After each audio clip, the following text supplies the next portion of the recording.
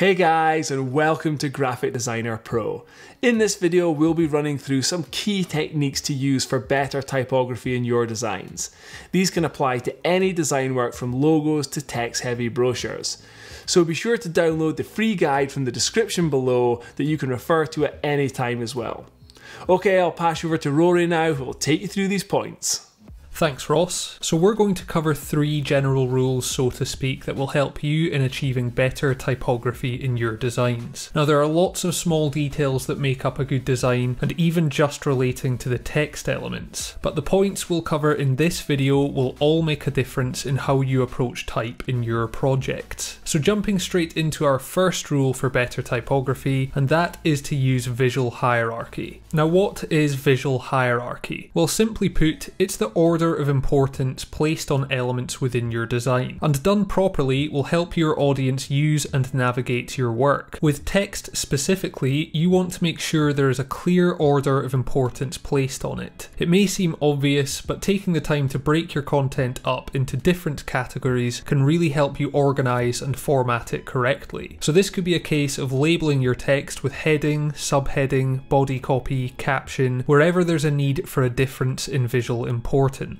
This is especially useful with pages of text as you can apply consistent styling to all of the text sharing the same label or category, making your designs more uniform and easy to understand in the process. It's important to create contrast between these categories so that the order of importance is clear. You can do this with formatting such as font weight and style, size, colour, alignment and positioning to name a few parameters. Moving on, our next rule is to limit yourself to no more than two typefaces in a project. Now I know this may seem a tad over the top and of course it is possible to create stunning work with more than that, but too many typefaces can easily ruin a design. And a lot of the time you only really need a single typeface with a variety of font options, let alone two typefaces. Sticking to a limited number of typefaces and even fonts will create a more consistent and simplified look to your projects. It will also benefit your audience too by bringing familiarity to the design. There's a reason most brands stick to their core brand typefaces for everything they put out. It creates a consistent style for their audience to associate them with, and they've usually been carefully selected to reflect them as a business. Trying to go crazy with a variety of typefaces can lead to confusing and erratic looking designs with little to no thought put into them. Remember, it's easy to ruin a design with poor typeface pairings too. Moving on to our last rule, that that is to prioritize legibility and readability. Now, first of all, legibility is applicable to the design of the typefaces you use, as it refers to how easily the characters of any given text can be identified. Readability, on the other hand, is how easy it is for a user to read the text, funnily enough. We often see designs where the interesting style, positioning, or scale of the text is prioritized over how well it actually reads, and this is one of the quickest ways to put off your audience.